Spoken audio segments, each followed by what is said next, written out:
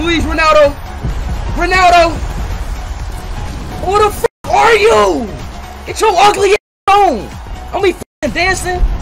We don't want you. We don't want him. We don't want him. We don't want this guy. No, I don't want him.